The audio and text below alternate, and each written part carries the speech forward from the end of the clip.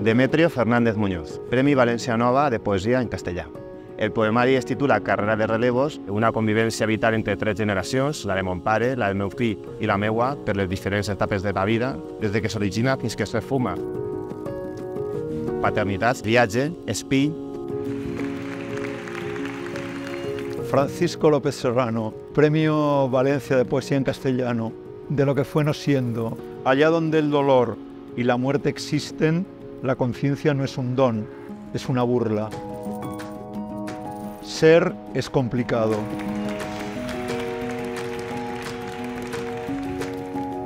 Esther Climent Bosch, Premi València Nova de Poesia en Valencià.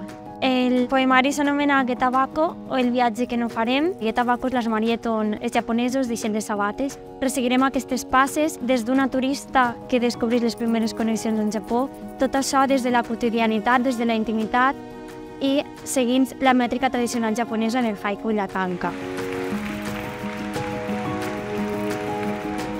Intimitat, quotidianitat i essència.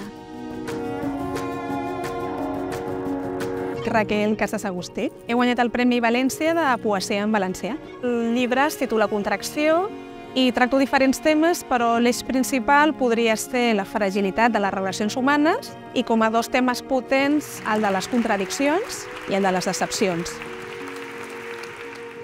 Cop de puny.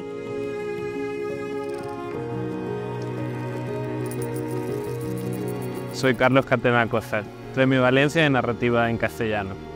La novela se llama Tan tonta y es una novela sobre una au pair recién llegada a Irlanda y que no sabe inglés, no puede comunicarse con el niño al que cuida. Entonces es una novela sobre lo difícil que es ponerle nombre a lo que nos pasa cuando tiene que ver con determinados tabú y determinadas zonas grises de nuestro cerebro. Inquietante, claustrofóbica y también chistosa. Irene Klein Fariza, València Nova 2023. Les absències és un recull de relats interconnectats entre ells en què l'absència és l'element que va apareixent al llarg de tots els relats.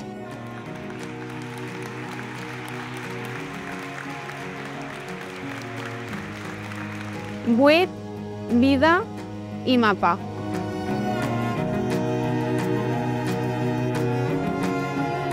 Josep Franco, Premi València de Narrativa. Si tenim vida i salut, una reflexió sobre la importància de l'atzar en, en la vida de les persones, des del moment mateix de la concepció, perquè no és igual una persona concebuda per un matrimoni de classe baixa i d'herència oprimida que una persona concebuda per uns milionaris. No? Una novel·la collonuda.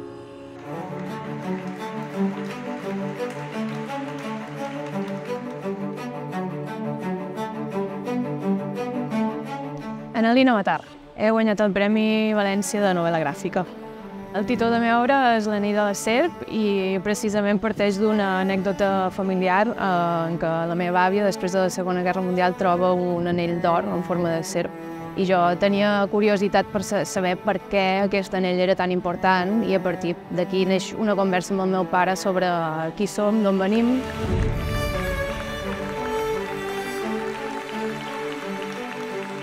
Memòria, família i culpa.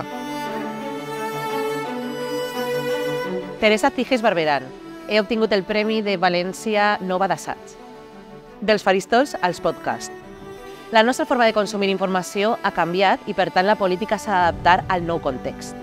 Els nous canals ens donen l'oportunitat d'arribar encara a més gent i veient com aquest infoentreteniment està aterrant en noves propostes com ara podcasts, canals de YouTube, de Twitch, fins i tot influencers per acostar la política a, sobretot, els més joves.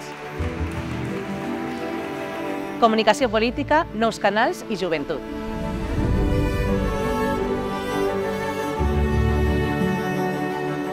Raúl Rodríguez Ferrandi, Premio de Ensayo. La obra se llama Desinformación y Poder.